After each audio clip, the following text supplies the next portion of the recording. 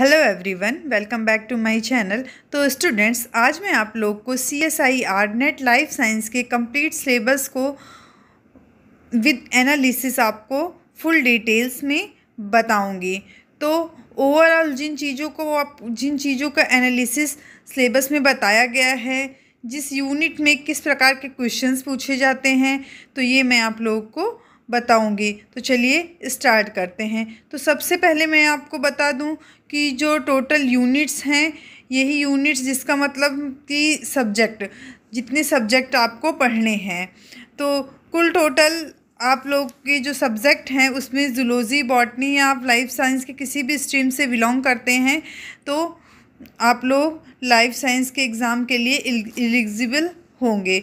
तो किसी भी ब्रांच से आप किसी भी ब्रांच से आपने एमएससी किया हो लाइफ साइंस के लिए, आप एलिजिबल हैं। तो अगर आप लाइफ साइंस के लाइफ साइंस की तैयारी कर रहे हैं तो आप लोग जो जान लीजिए, कुल थर्टीन यूनिट्स होती हैं। थर्टीन यूनिट्स मतलब थर्टीन सब्जेक्ट्स को आपको पढ़ना होगा। तो कभी कभी बहुत सारे लोग के कमेंट्स भी यहाँ बताए जाते हैं कि जो सब्जेक्ट को पहले कैस, किस प्रकार पढ़ा जाता है, कि सजेस्ट करिए कि कैसे क्वेश्चंस आते हैं तो वो आपको यहाँ पे बताए जाएँगे। तो जो आपको एग्ज़ाम क्लियर करने में काफ़ी हेल्पफुल होंगे। तो चलिए, हम जो सिलेबस की पूरी जानकारी है, वो आपको देते हैं। ओके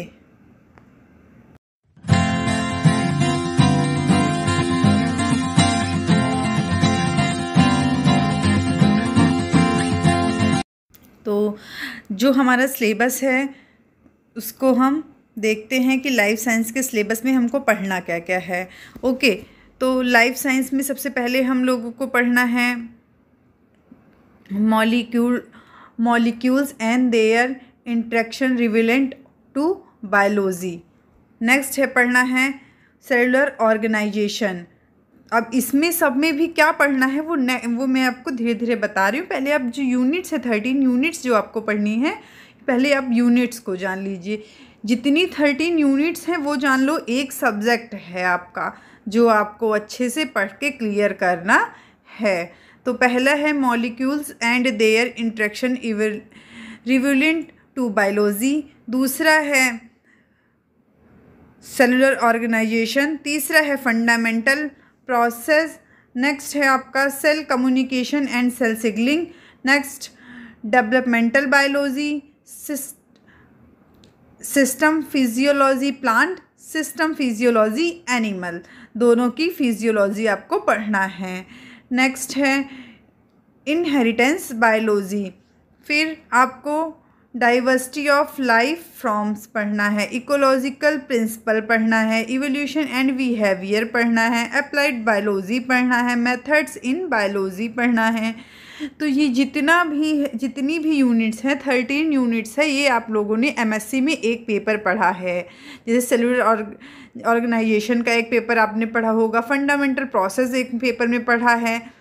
सेल कम्युनिकेशन, जिसमें सेल के बारे में फुल डिटेल्स आपको बताई गई हैं। तो चलिए, हम लोग का जो फ़र्स्ट है molecular and their interaction relevant to biology इसमें जानते हैं कि क्या आपको पढ़ना है। तो इसमें भी आप लोग, इसमें आप लोगों को क्या पढ़ना है? Structure of atoms molecule and chemical chemical bond और communication structure and function of biomolecules को पढ़ना है। बायोमोलिक्यूल्स जैसे कार्बोहाइड्रेट डिपिल लिपिड प्रोटीन न्यूक्लियस विटामिन्स ये पढ़ना है।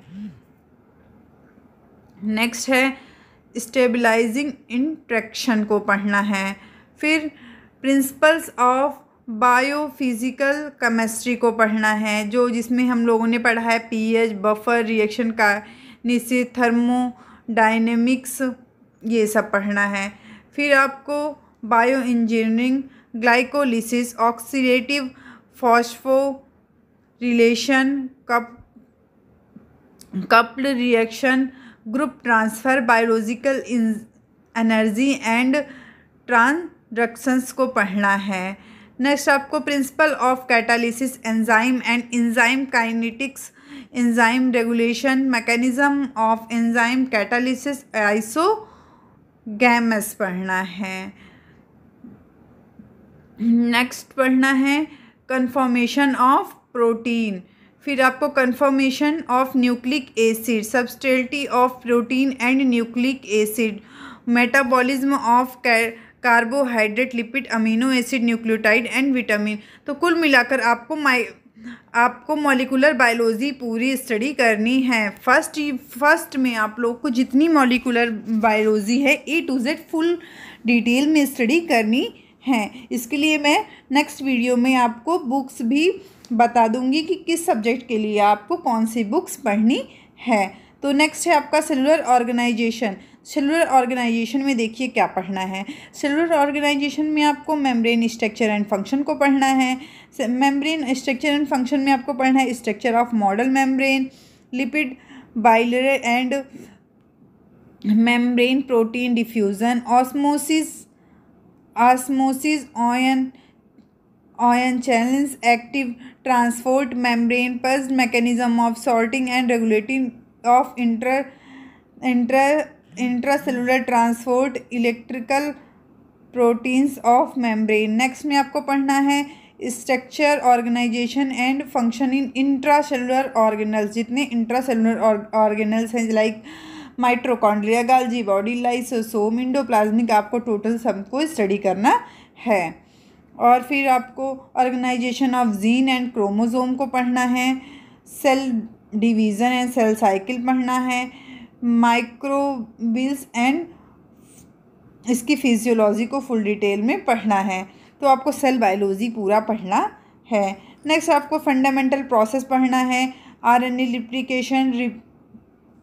repair and recombination and DNA replication repair and recombination और आपको आरएनए सिंथेसिस एंड प्रोसेसिंग पढ़ना है पूरा जी जो इसमें आते हैं।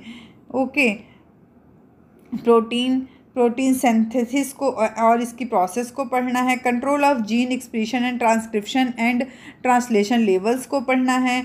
इसमें भी जो जो सब्स यूनिट हैं, जो इसमें दिया गया है, जैसे कि जीन एक्सप्रेशन वायर वायरस और प्रोकैरियोटिक एंड यूकैरियोटिक जीन जो मतलब मेन रोल है ट्रांसक्रिप्शन और ट्रांस ट्रांसवर्जन लेवल में वो आपको फुल डिटेल में पढ़ना है। फोर्थ यूनिट में आपको cell communication and cell signalling पढ़ना है, जिसमें आपको होस्ट पैरासाइट इंट्रैक्शन और cell signalling regular cellular communication cancer in innate and adaptive immune systems को फुल डिटेल में स्टडी करना है। पाँचवें यूनिट की ओर आते हैं। पाँचवें यूनिट में आपको डेवलपमेंटल बायोलॉजी को फुल डिटेल में स्टडी करना है, जितने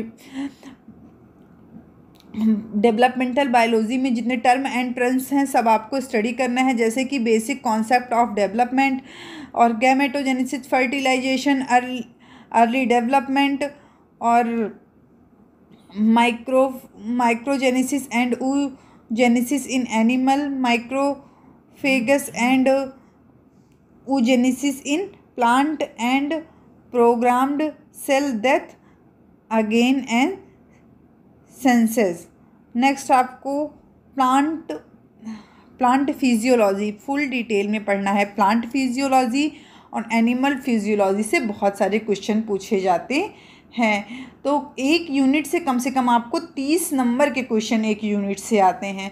इसलिए एक एक यूनिट को आप लोग अच्छे से तैयारी करिए. अभी बहुत टाइम है थोड़ा थोड़ा करके स्टडी करेंगे तो आप लोग बहुत अच्छे से स्टडी कर पाएँगे. फाइव फ़ोटो सिंथेसिस में आपको लाइट फ़ोटो मतलब प्लांट फिजियोलॉजी में photosynthesis respiration and trans trans photorespiration पढ़ना है nitrogen metabolism plant hormone sense sensory photobiology पढ़ना है solute transport and photo stimulate translocation को पढ़ना है सेकेंडरी मेटाबॉलिज्म स्ट्रेटरी फ्यूजियोलॉजी को पढ़ना है, सातवें में हम लोग आ गए हैं। सिस्टम फिजियोलॉजी एनिमल तो जित एनिमल फिजियोलॉजी है। एनिमल फिजियोलॉजी में आपको पता ही है कि ब्लड एंड सर्कुलेशन आता है। कन कार्डिवर्जेंस कार्डिकुलर सिस्टम आता है, नर्वस सिस्टम आता है रिस्पायरेटरी सिस्टम आता है, sense organ excretory organ, thermoregulation, digestive system, endocrine and exocrine system. तो ये सब यूनिट सेवन के अंतर्गत आपको मिलेंगे।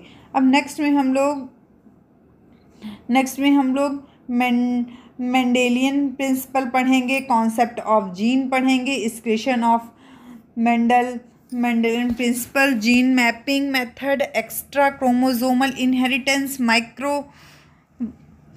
microbial genetics human genetics quantitative genetics mutation structure and mechanical alternation of chromosome recombination okay next हम लोग को डाइवर्सिटी ऑफ़ लाइफ जिसमें हम लोग को पढ़ना है principle of method of taxonomy level of structure structural organisation outline classification of plant animals and micro organisation natural theory of animal सब कॉन्टेंट कॉन्टेंट नेक्स्ट में आपको organism of health agricultural importance organism of conservation concern को पढ़ना है। Next है आपका ecological principle. तो ecological principle में आपको इन्वामेंट की फुल स्टडी करनी होगी। ओके, जैसे habitat and niche, population, species interaction, community ecology और ecological succession ecosystem, ecology and bio biogeography को। ओके नेक्स्ट आपको applied ecology conservation biology next है इवोल्यूशन एंड इस बिहेवियर तो इवोल्यूशन एंड इस बिहेवियर में आप लोगों को पूरा Lamarckism Darwinism organisation of cell you cells को पढ़ना होगा फैलियो फैलियो बोटेनोलॉजी और evolutionary theory molecular evolution and इसकी मकैनिज़म को पढ़ना है ब्रेन बिहेवियर एंड इवोल्यूशन को। नेक्स्ट में आपको अप्लाइड बायोलॉजी अप्लाइड बायोलॉजी के में जितनी भी इंपॉर्टेंट है, उसको आपको फुल डिटेल में पढ़ना है। फिर इसके बाद हम लोग का लास्ट है मेथड इन बायोलॉजी बायोलॉजी में जितने भी मेथड हैं मॉलिकुलर बायोलॉजी एंड रिकॉम्बिनेशन जैसे कि histochemical and histochemical bio physical method, statistical method, radiolabelling techniques, microscopic techniques. तो जितना मतलब जितना हो सके उतनी अच्छे से आप लोग अपनी स्टडी की तैयारी बनाए, तैयारी करिए। एक अच्छा परफॉर्मेंस अगर आपको एग्ज़ाम में देना है तो जितनी भी यूनिट्स हैं टोटल जो थर्टीन यूनिट्स हैं, उसको सब अच्छे से एक बेहतर लेवल में तैयार करिए और अच्छे से एग्ज़ाम की तैयारी करिए। अगर आपको इसका पीडीएफ चाहिए तो मैंने अपने टेलीग्राम चैनल पे दे दिया है। आप लोग वहाँ जाके इसको टेलीग्राम चैनल पे जाके आप लोग, आप लोगों को जो इसका सिलेबस है वो मिल सकता है। इस टेलीग्राम का लिंक आपको डिस्क्रिप्शन बॉक्स में मिल जाएगा। इससे रिलेटेड आपको कोई भी जानकारी लेना हो तो आप लोग कमेंट बॉक्स में कमेंट करें। आप लोग अगर बुक चाहते हैं कि कौन सी बुक्स एग्ज़ाम में इंपॉर्टेंट है तो भी आप लोग कमेंट करें। आपको बुक्स के भी वीडियोस प्रोवाइड करा दी जाएगी। Okay thank you